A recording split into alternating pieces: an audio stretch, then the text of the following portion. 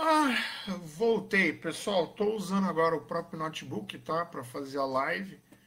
É, peço desculpas aí. Tivemos aí um pequeno intempéries com o meu celular. Já é a segunda vez ou terceira que trava em live. Eu vou descobrir se é o meu celular ou se é o próprio Facebook, tá? Senão eu vou até estudar uma opção de fazer, um, usar um outro ou Instagram, o próprio YouTube, para a gente fazer nossas lives é, sem esse problema aí, tá bom, pessoal? Bom, ficou alguns comentários na live anterior, é, e eu vou olhar lá depois com calma, referente aos sorteios que eu estava fazendo. Eu vi até que o Alex Ed tinha respondido sobre o arquivo X, tá, Alex? Então tá, tá garantido aí a sua peça, tá? O seu, o seu brinde, eu vou encaminhar para você. Então você vai ter dois brindes, um para você ter acertado o porquê que é o dia da toalha, referência ao guia dos, do Mochileiro das Galáxias, e também que você acertou o nome dos dois personagens do Arquivo X, que era o agente, agente Mulder e a, a...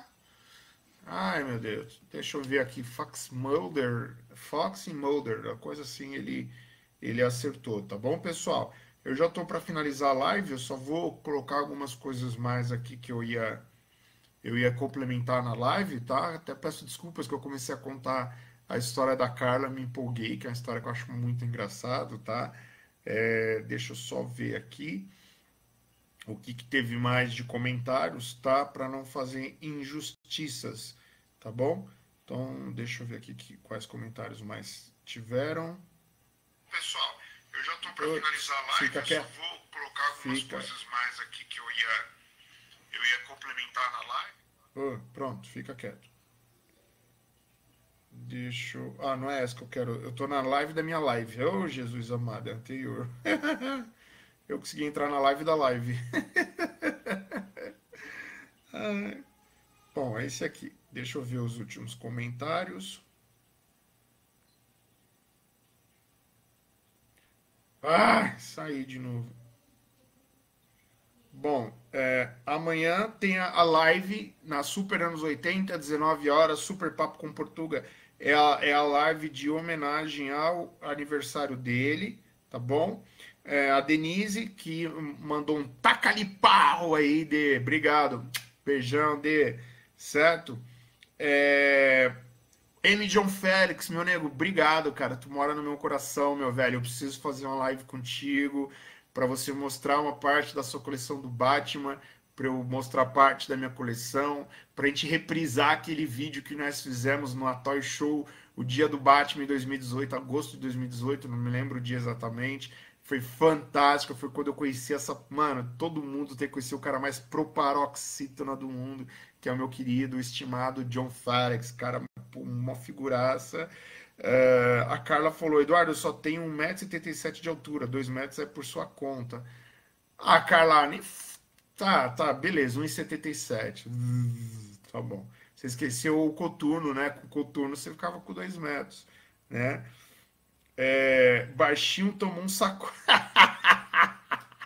Ai, a Denise pegou essa parte da história. É, o tomou um sacode lindo, viu, Dê? Foi lindo, fantástico.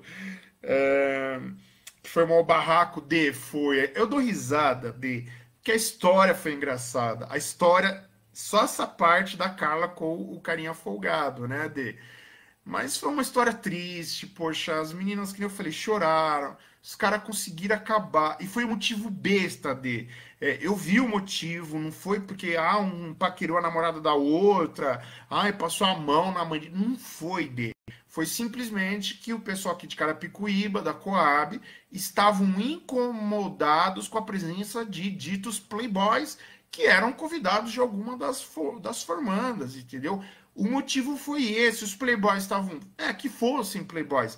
Eles estavam lá no cantinho deles, eles estavam na deles, dançavam, bebia, na deles. Mas aí o pessoal aqui de Carapicuíba, né? O pessoal da Coab, deram um jeito de arrumar confusão. E aí, obviamente, os moleques lá não, não, não deixaram por menos. E aí saiu uma baita porradaria para tudo que é lado. Um fato muito triste. Eu fico muito triste quando vou numa festa, vou num baile e vejo esse tipo de situação, né?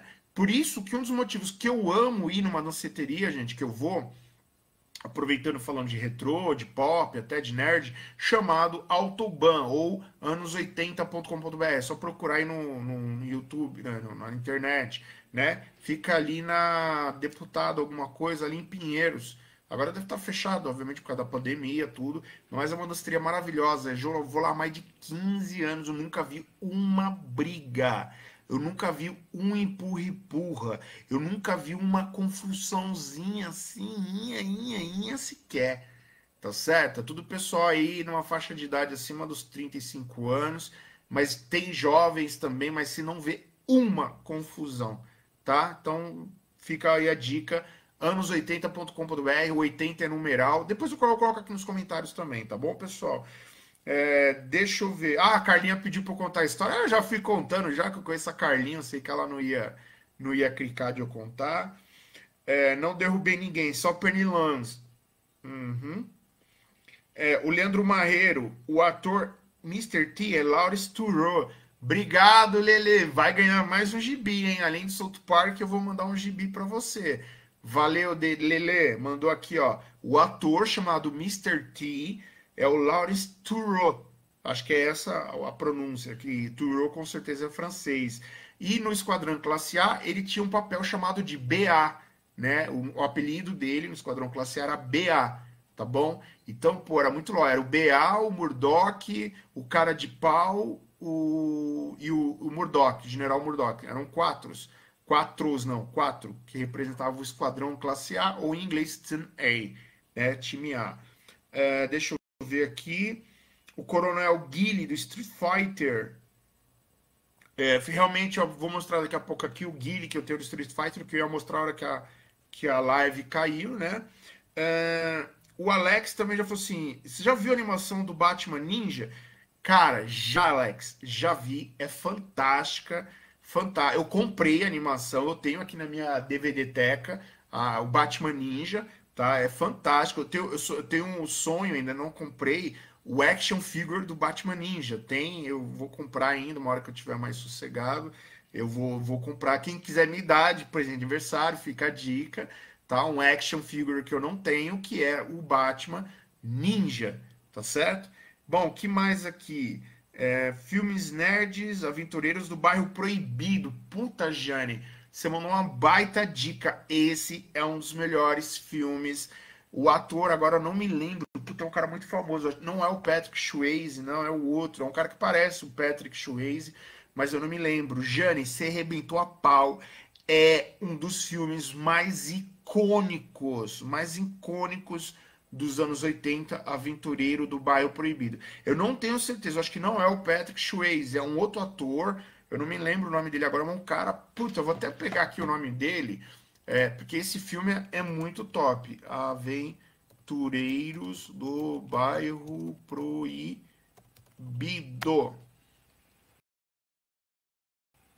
Tem uma continuação que não é muito boa, mas o primeiro.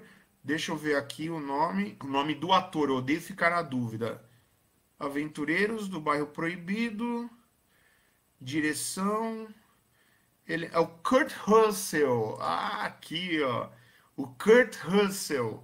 Kurt Russell, né? É o, é o, é o nome do ator principal do Aventureiros. Vou colocar aqui, ó. Kurt Russell.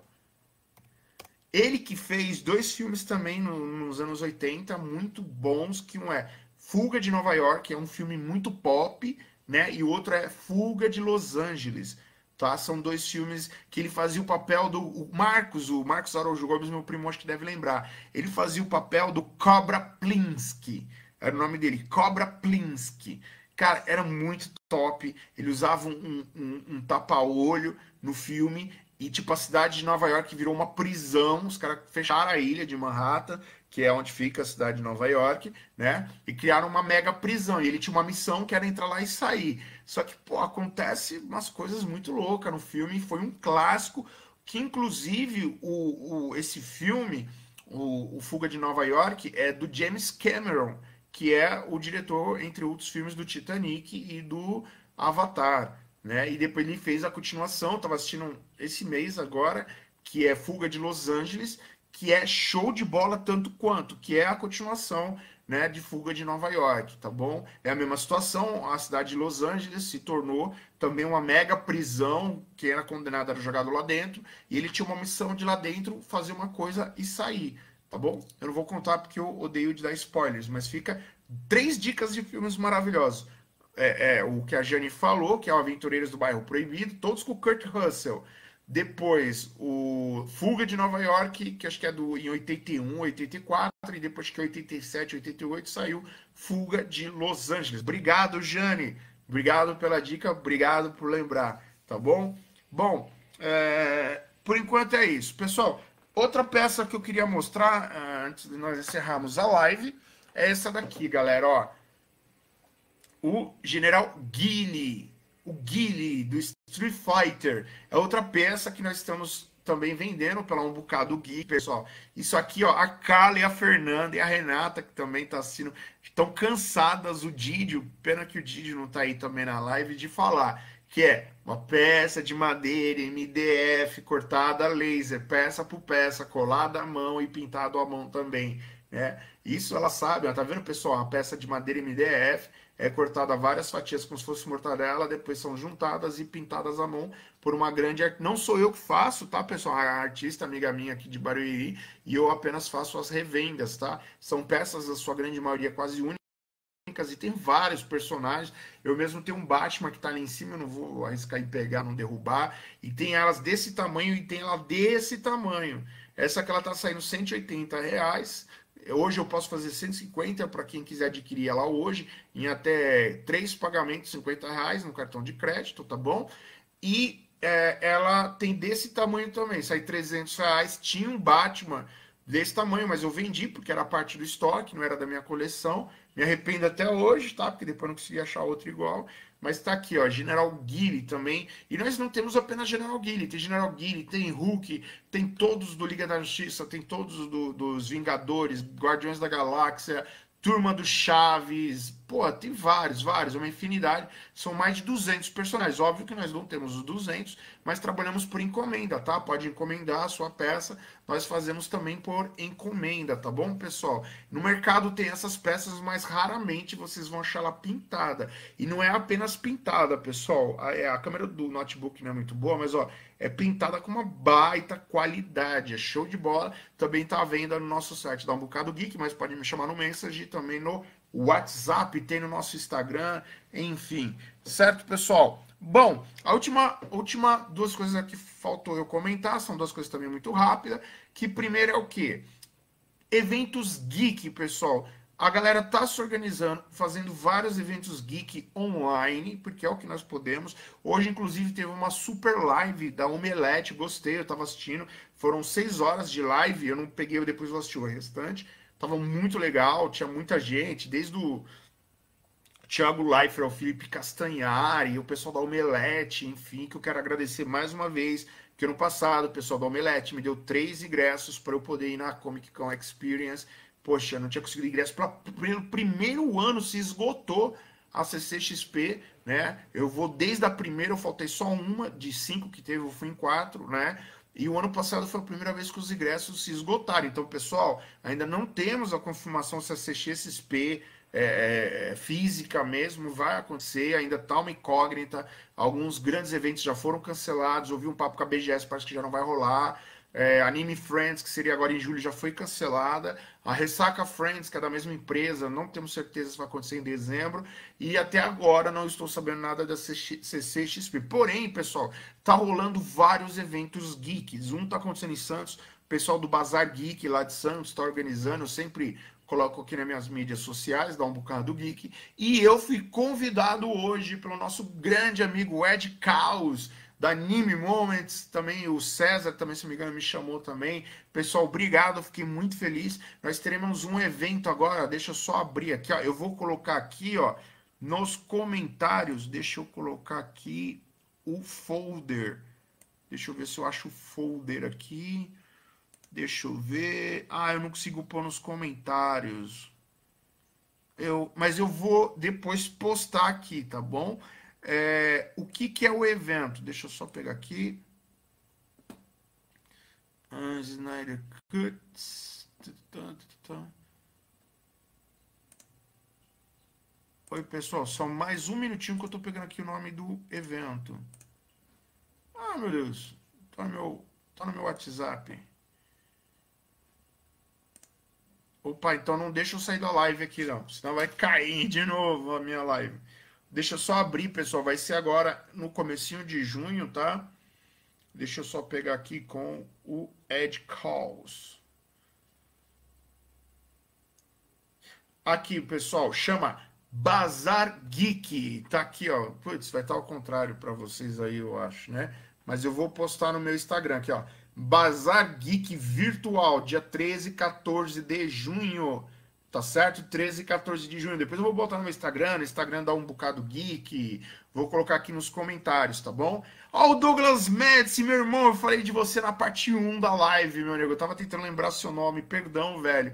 Que eu falei que foi você que me deu a dica do, do Zack Snyder Cut, né? Que vai rolar aí. Você que me marcou no post e me avisou, eu acabei fazendo a live da última sexta-feira. Brigadão, Diego. Só por causa disso, ó, o tio Du vai te mandar um brinde aqui, ó, um gibi de brinde. Me dá o seu endereço, dá os, os personagens favoritos seu e do seu filho, que eu vou mandar dois brindes, um para cada um de vocês, tá bom? Eu fiz alguns sorteios na live anterior, tô fazendo agora, mas Douglas, você e o Tiagão, cara, vocês merecem, tá bom? Brigadão. E, brigadão. Então, pessoal, dia 13 e 14 de junho, sábado e domingo, vai rolar o Bazar Geek Virtual. O que, que é o Bazar Geek Virtual, pessoal?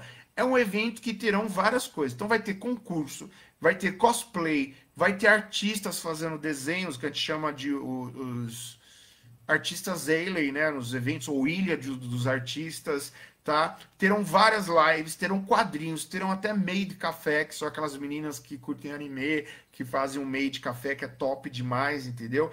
Tem aqui ó, um, um, QR Code que você pode acessar, mas pela imagem da live não vai dar, então eu vou botar aqui na, na, nos comentários, tá bom, pessoal? É, e quem quiser saber mais é no facebook.com barra bazargeek, ok? facebook.com barra bazargeek, a organização do Ed Caos. Tem mais um amigo meu que chamou aqui também.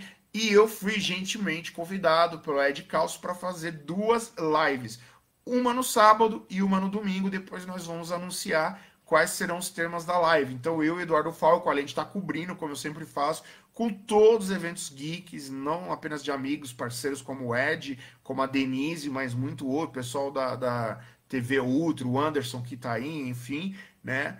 E novamente, falar em evento geek, agradecer a Fernanda, a Carla, o Carlão, que já me ajudou em evento geek, a própria Fátima, a Renata, o Didio, o João, meu irmão Thiago, que sempre me ajudaram muito em eventos, meus sobrinhos, meu, tô chorando saudade dos meus sobrinhos também, enfim. Tá bom, pessoal? Então, as duas dicas é, de evento, o, mais, o principal é esse daqui, tá? Então, novamente, dia 13 e 14 de junho, tá bom? Tá aqui, ó, certo? 13 e 14 de junho o Bazar Geek Virtual, concurso, cosplays, artistas, lives, quadrinhos, meio de café, tá bom? Só procurar no Facebook, Facebook barra Bazar Geek, 13 e 14 de junho. Reserve essa data, o evento será o dia inteiro, com vários conteúdos. E novamente, é live, mas se perder, fica gravado. Você pode assistir a hora que quiser, pode assistir aos poucos.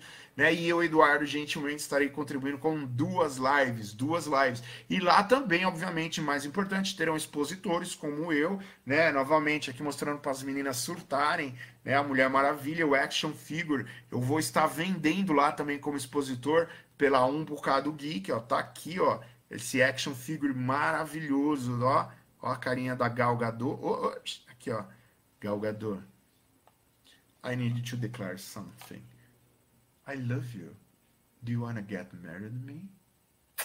Ela é linda, galera. Ela é maravilhosa, Gal Gadot. Sou apaixonado por ela. Tá bom, pessoal? Então, é isso aí. E a última dica também que eu ia fazer, comprometi, pessoal, que é fazer a dica sobre colecionismo, tá? Opa, prontinho, arrumei a Gal Gadot aqui. Bom, pessoal, a dica é muito simples. Muito, muito simples que eu vou dar agora. Eu conheci o Márcio Escoteiro, que é considerado nacionalmente, mundialmente, o maior colecionador de Batman do Brasil. Eu fiz um vídeo com ele, depois coloco o link aqui também para vocês. É maravilhoso, maravilhoso. Eu encontrei ele sem querer na Comic Con do ano passado, de 2019. Eu não marquei, não combinei. Eu imaginei que ele poderia estar lá, porque era homenagem aos 80 anos do Batman, comemorado em 2019, como agora em 2020 é comemorado os 80 anos do Batman no Brasil. Porque o Batman foi lançado em 25 é, é, em 27 de maio de 39, tá? Na revista. Ai, tá aqui ali, ó. Detective Comics número 10, número 27, perdão. Tá? Em 40, ele foi lançado aqui no Brasil, certo? Então, ano passado, 80 anos do Batman, esse ano, 80 anos do Batman no Brasil, 80 anos do Robin e 80 anos do Coringa também, tá? Porque ambos foram lançados em 1940. Tanto o Robin, o garoto famoso garoto prodígio, também como o Coringa que é o mais icônico dos inimigos do Batman, tá certo? E ele lá, ele me deu uma dica assim, galera, fantástica, né? Eu comentando sobre a coleção dele e tal. Assista um vídeo, é fantástico o vídeo. E uma coisa que até hoje eu me lembro, ele falou, Edu, não seja um acumulador, seja um colecionador e seja um, meu Deus, eu sempre esqueci esse nome que ele falou. É quando você é um curador da coleção, curador, curador, tá? O que, é um curador? Por exemplo, aqui em São Paulo teve a exposição do Batman no passado, que foi de setembro até fevereiro de 2020. O organizador é o Ivan Costa, que é outro grande e famoso colecionador do Batman. E também é um dos organizadores da CCXP. O Ivan Costa, ele era o curador da coleção. O que é o curador? Aquele cara que vai ter o cuidado com as peças, com segurança das peças, cuidar da exposição, layout, display que você põe em cada peça, como eu tenho as minhas aqui atrás, e principalmente a manutenção das peças, é limpar, é cuidar. É, então, por exemplo, ó, aqui na minha estante, cadê? Tava aqui agora. Ah, não vou achar agora. Na minha estante aqui, ó, que tá ali, eu sempre deixo um pincelzinho, já, já fica ali direto. Então, toda vez, agora que eu tô ficando em pé, né, por causa da prótese e tal, então eu vou até pegar, né? O pessoal tá adorando me ver em pé, né? Então, tô usando um pouco a cadeira ainda só para curtas distâncias, mas eu vou levantar aqui, ó, para quem, quem quer me ver em pé com a prótese, né? Opa, cadê o pincel? Onde eu deixei? Ah, opa, aqui. Ah, achei. Então, pessoal, o que é ser curador né? No caso, curador da sua exposição, da sua coleção, perdão. Pessoal, isso aqui, ó, pega a pecinha da Mulher Maravilha, compra pincel. Eu tenho de vários tamanhos para cada peça. Se a peça é menor, é um pincel menor. Se é uma peça maior, igual a luminária que eu mostrei aqui do Dragon Ball, é maior, enfim. Cara, com muito cuidado, ó. Dá uma limpadinha uma vez, no mínimo, Depende, que no meu apartamento a janela fica, fica aberta muito tempo eu moro no terra em frente ao estacionamento. Então pega muito pó. Então, pelo menos uma vez a cada 15 dias, eu estou procurando limpar as peças principais. As menores, uma vez por mês, eu procuro limpar. Ó, pega aqui, galera, ó, limpa, tira o pó, certo? Acaba tirando um pouquinho de umidade também, que pode estragar a sua peça. Galera, não custa nada, ó. Os meus gibis que estão aqui, ó, na minha gibiteca aqui, ó, acho que dá para ver, ó, tem um plástico envolto, tá certo? Esse aqui mesmo, ó, um grande cliente meu e amigo, Fernando Compan, trouxe para mim dos Estados Unidos, tá certo? Então, todas estão envelopadas com todo carinho. Eu quero ler, eu abro, tiro do saquinho plástico, guardo novamente, tá certo, pessoal? Isso que é ser curador, é você cuidar da sua coleção. Então, quando o Márcio falou de não ser acumulador, que eu já vi gente assim também, tá? Que é aquele pessoal que só compra e vai jogando no, com, no canto. Vou, vou, dar um exemplo, tá? Não vou, tô falando mal dele, mas eu, eu já vi ele fazer isso. Sabe o Robson Bailarino? Inclusive, ele teve no Super Papo com Portuga semana passada, na terça-feira passada. O Robson Bailarino, ele faz coleção de action figures. Agora, eu não lembro quais são os action figures que ele faz coleção, tá? Mas eu vi vários na casa dele. E a repórter uma hora entrou é, no quarto onde ele guarda os aqui. Aqui não tá toda a minha coleção. Tem coisa que tá no meu quarto de bagunça aqui, porque não cabe, mas tá numa estante, arrumadinho, separado. O que, que é gibi, o que, que é livro, o que, que é carrinho, o que, que é. Né? Porque não cabe tudo aqui na, na minha sala, né? E ele não, quando ele mostrou os, os action figures dele, tava tudo num monte, assim, entendeu? Ele comprava e colocava lá, comprava e colocava lá. E isso não é uma coisa legal, porque, óbvio, que fica de embaixo a massa, estraga tal. E esse você acaba sendo um acumulador, que é aquela pessoa que compra as coisas na compulsividade, entendeu? E, e não cuida, que nem eu tenho várias coisas. Eu ainda não fiz um inventário de todas as minhas peças. Né? Eu estimo que eu devo ter em torno de duas mil peças. O Márcio Escoteiro, para vocês terem noção, ele tem 7.500 peças do Batman. Ele é considerado o maior colecionador de Batman do Brasil. E o maior colecionador de Batman do mundo, eu não lembro agora o nome dele, o, o Márcio Escoteiro conheceu ele, ele tem 15 mil peças do Batman. 15 mil peças. Um dia eu chego lá, né? Um dia eu chego lá. É, deixa eu ver o que mais, pessoal. Então é esse cuidado, tá muito que nem aqui meus gibis, por exemplo, eu tenho eles aqui, ó, nas cestinhas aqui do lado, que eu guardo todos eles. Eu não deixo ninguém ficar colocando coisa em cima para não amassar. Os mais raros eu guardo, tá guardado, não deixo nem exposto aqui. Enfim, tá bom, pessoal? Então isso é uma forma assim, é legal fazer o colecionismo, não apenas de coisas geek, coisas nerd, coisas de gamer, mas de qualquer coisa, tá bom? E, e, fica aí a minha dica de sempre cuidar da sua coleção. Que nem meus gibis são separados por história, são separados por número, os livros são tudo por ordem, enfim, né? As pessoas que já tiveram o prazer de vir na minha casa. Porque, por exemplo, já aconteceu duas tragédias com coleção minha, duas. Uma que infelizmente alguém furtou da minha casa uma peça minha que eu gostava muito, tá? Uma peça da Lego, era mais ou menos desse tamanho, que uma ex-namorada minha me deu. Claro, além do carinho que eu tenho de, da minha ex-namorada, que não, não tem problema nenhum, chamava Rosana tal, mas porque foi comprado num passeio e é uma peça que não se acha fácil. E independente de tivesse sido comprado na feira, eu acho muita sacanagem a pessoa vir na sua casa, desfrutar da sua confiança e infelizmente furtar uma peça sua. Infelizmente que eu saiba, isso aconteceu só uma vez. E a minha empregada doméstica, uma vez limpando uma peça do Batman, ela, inclusive essa peça aqui, ó, dessa caixa aqui, ó, ó, ó. cadê a mão? Aqui, ó. Essa caixa preta aqui, ó, estão vendo, ó? É uma peça caríssima, caríssima. Eu vou até, deixa eu ver. Eu vou até pegar ela para mostrar para vocês.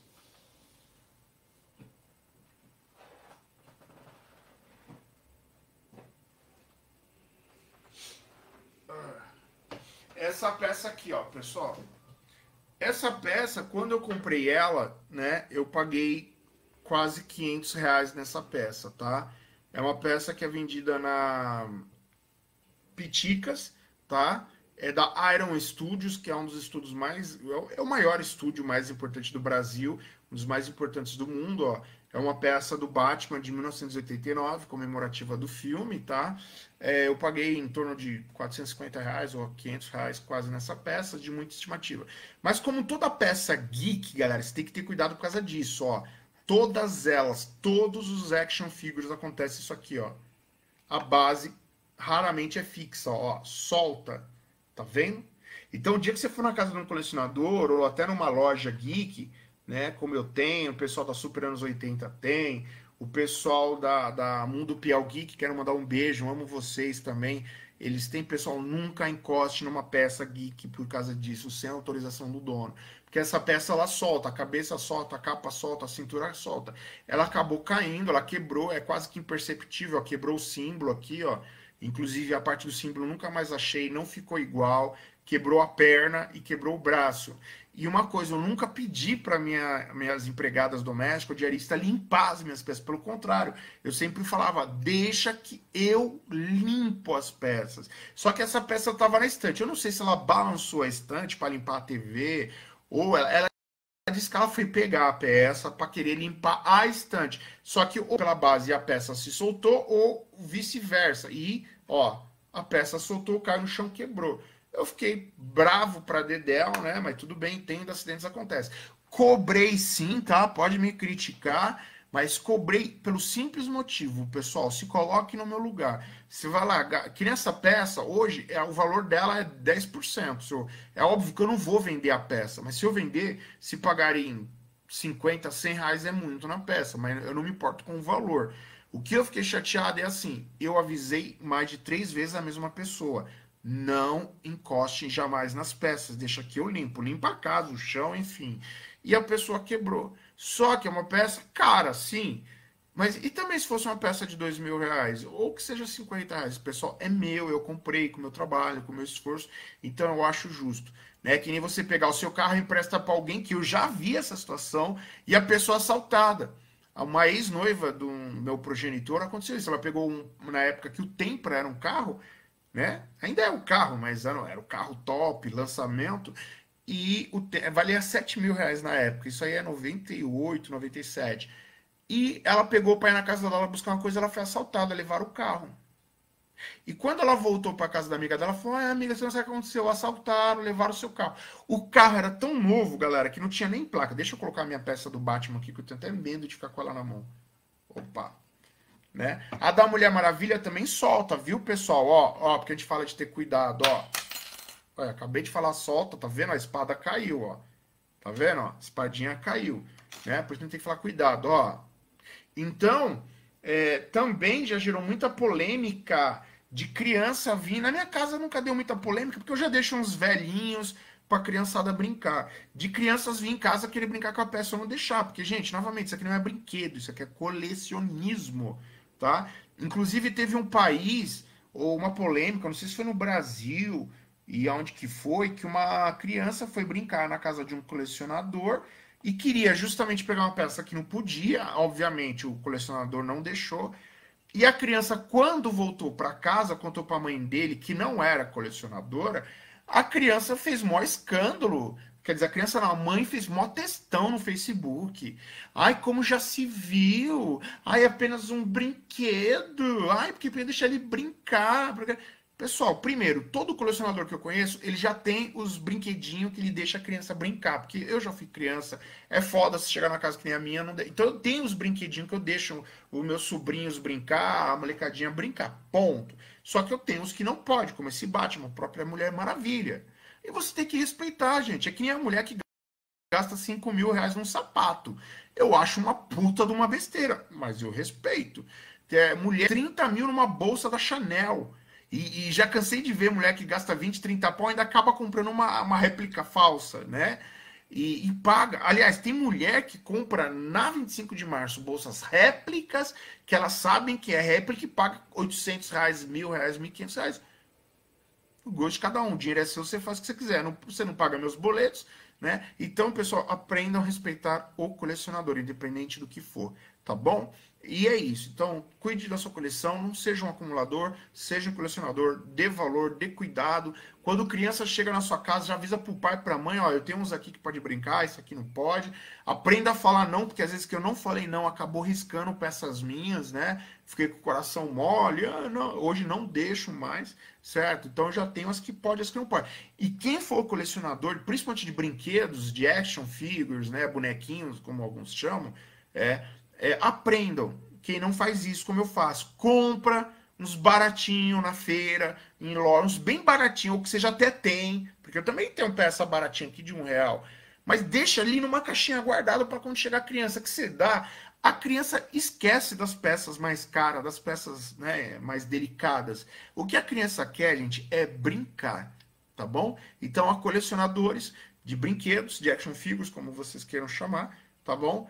Respeitem e lembre-se de criança não também tem noção, então deixem umas peças separadas para que elas possam brincar. E quem não é colecionador, igual essa mulher que fez um baita textão babaca no Facebook, respeita, minha, duvido, eu boto fé que ela é daquelas mulheres que gasta 4, 5 mil num sapato, entendeu? Acho um absurdo eu gastar mil reais, dois mil, quinhentos, cem reais, 80 reais numa peça, mas gasta 8 mil reais numa bolsa da Chanel, tá bom? Então, é assim que a gente convive em harmonia, que a gente convive em paz. Obrigado. Lembrando que ainda tá rolando os sorteios dos brindes de quem compartilhar, marcar três amigos com a hashtag Dia Orgulho Nerd, um bocado geek. Ainda tá valendo, tá bom? Até sexta-feira eu faço os outros sorteios de itens, como o livro do Star Wars e também esse pôster maravilhoso do Star Wars, tá bom? E até sexta-feira também eu posto os que já ganharam os brindes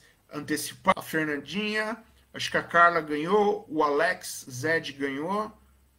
e também o nosso grande amigo Alex Zed e teve mais gente aí que ganhou, tá bom? O Leandro também, Marreiro, eu, eu falei que eu ia dar uma gibi para ele. Obrigado, pessoal. Até a próxima live. Dá um bocado geek que deve ocorrer na sexta-feira, tá bom? Valeu, Eduardo Falco, encerrando por aqui. Obrigado pela paciência, pelo carinho. Dá os últimos abraços às últimas pessoas que entrou aqui. Uh, o Douglas Metz, o Vander Pinheiro, um abraço, meu nego.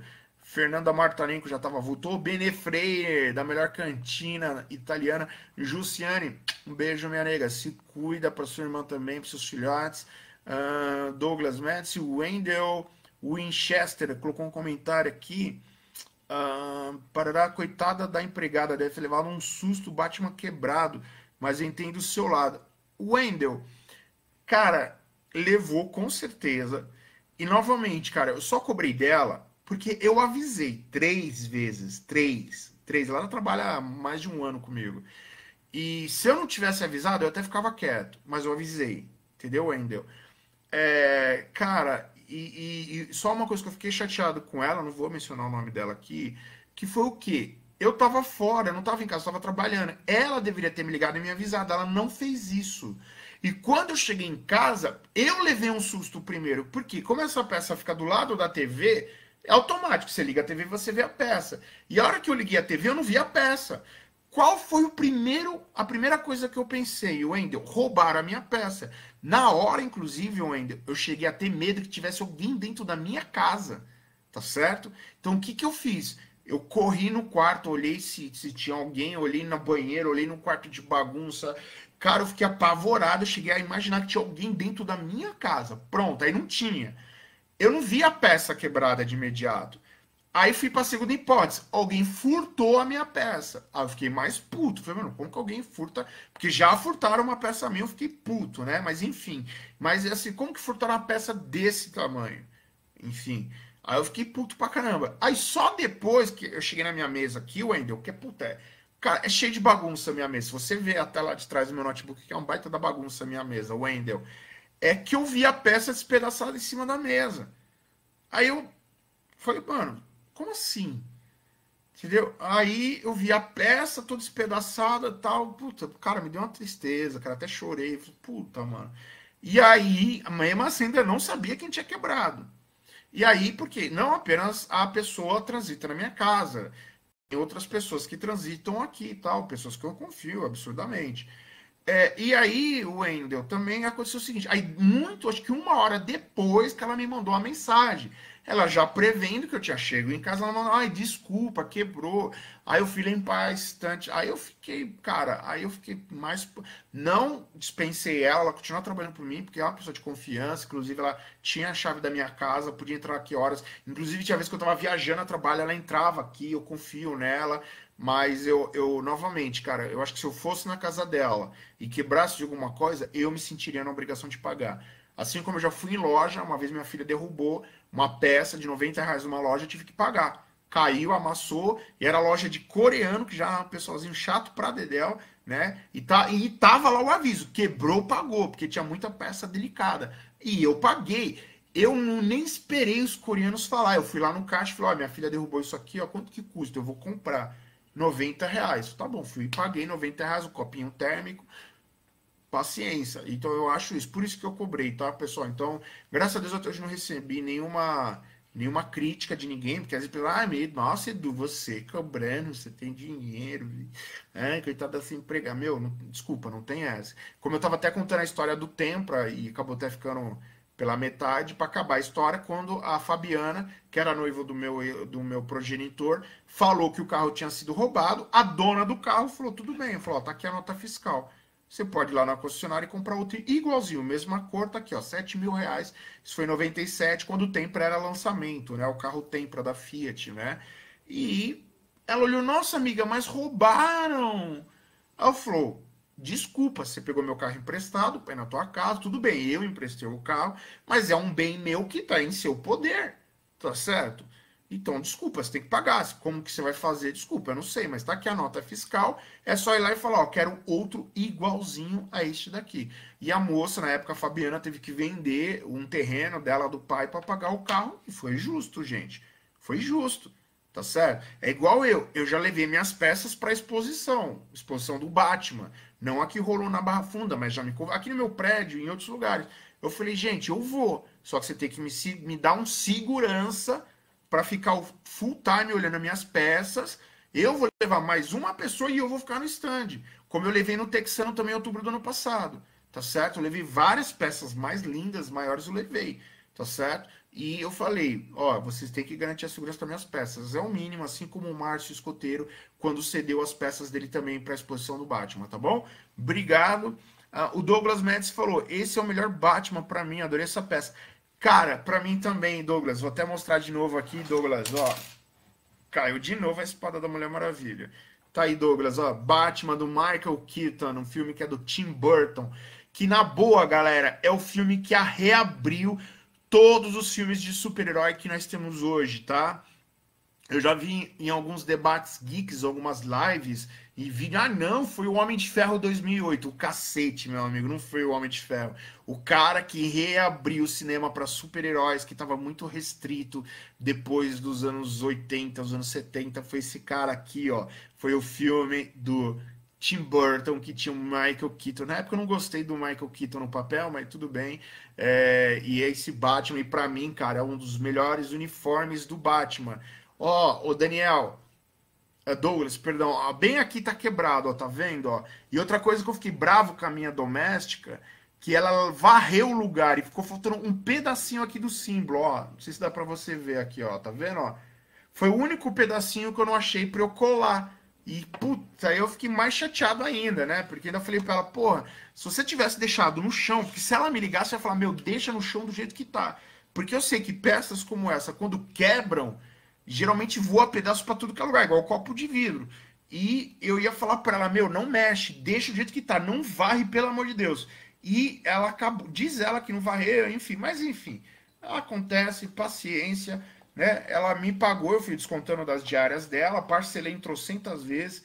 Ela pagava para mim parcelinha de 50 reais, né? E eu pagava, ela descontava e eu vou comprar depois uma nova. O dinheiro tá guardadinho, depois eu, eu vou comprar uma nova, tá? E pra galera do mimimi que fala assim, ai que absurdo, o cara fica pedindo doação da prótese, fez campanha de doação da prótese e tal, e pô, e compra as coisas e tal. Galera, saibam separar as coisas, tá bom? Eu tenho um escritório de contabilidade que é que sustenta a minha vida, minhas coisas. O meu colecionismo hoje é sustentado por tudo que eu vendo da um bocado geek, tá certo? E parte do que eu vendo da um bocado do geek, metade vai para pagar minha prótese, que quem sabe custou 32 mil reais, já tô com ela, já paguei a metade, 16 mil, preciso pagar outra metade de 16. E, e eu pedi só uma doação por sugestão de amigos, porque golpistas compraram a minha caminhonete que valia 62 mil reais e eu perdi a minha caminhonete. Certo? Então, por causa disso, eu fiz uma campanha apoiado por amigos da internet que nós conseguimos arrecadar, arrecadar os primeiros é, 16 mil reais, tá certo? E falta metade agora, mas eu tô pagando. Se alguém ainda quiser ajudar, poxa, é super bem-vindo. Mas enfim, agora o dinheiro dessa peça, eu descontei da minha empregada, tá guardadinho no meu no meu cofre lá na Falcon. Eu, é porque eu não achei a peça mais, por isso que eu não comprei, mas a primeira oportunidade eu vou comprar, porque, cara, é uma coisa que, que eu gosto, tenho muito carinho. Essa vai ficar aqui, ou depois eu faço um sorteio, dou, e o dinheiro que eu arrecadar eu dou para alguma instituição, enfim, eu dou, dou um jeito, tá bom? É isso aí, galera. Obrigado mais uma vez. Próxima sexta-feira, 8 horas da noite, estarei aqui com outros temas. Quem quiser sugerir temas serão todos bem-vindos, tá bom? E todo mundo que ganhou os, os brindes, eu vou daqui até sexta-feira, que é a data final da divulgação, colocando todos os nomes e o que, que ganhou, colocando as fotos e disparando via Correios Eduardo Falco. Lembre-se de compartilhar, que isso aí me ajuda bastante, é, ajuda na divulgação do Bocado Geek, ajuda a divulgação de eu como como youtuber, liveiro, o que vocês quiserem aí, que é uma coisa que eu muito estar tá perto dos seus amigos, porque eu moro sozinho e essa hora eu, eu me sinto muito, muito abraçado, muito, muito junto com vocês, cara. E é muito da hora. Então, obrigado por cada um que participa dessa live, tá bom? Estão fazendo um Batmaníaco aqui, cara, igual meu primo Marcos na live anterior, na parte 1, quando eu comentei do Esquadrão Classe A, meus olhos até marejaram, arrepiei por lembrar coisas gostosas e eu acho que é isso que a vida vale a pena, tá bom? Obrigado, gente. Até a próxima sexta-feira, a próxima live do Eduardo Falcon da Um Bocado Geek, tá bom? Valeu!